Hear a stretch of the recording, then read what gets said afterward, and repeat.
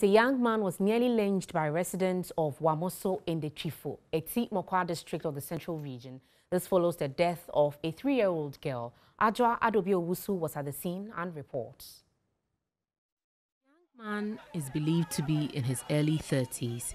A mob from a neighboring community, Tintimshe to Wamoso, attempted to beat him up, suspecting that he has a hand in the death of a three-year-old girl in the community.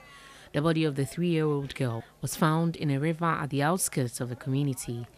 The assembly member for the Wamoso electoral area alleged that the man seen lurking around raised suspicion. He again said this is the second time someone with a suspicious look has been arrested in the area in two weeks.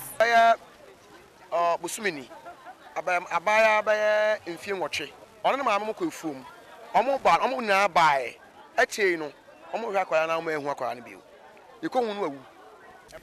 this is the third time something like this has happened, and it has scared all of us in the community. So we have warned residents to be on guard for suspicious people. Some items, including cigarette, knife, scissors, and a substance suspected to be Indian hemp, was found in the box belonging to the young man who posed as a cobbler.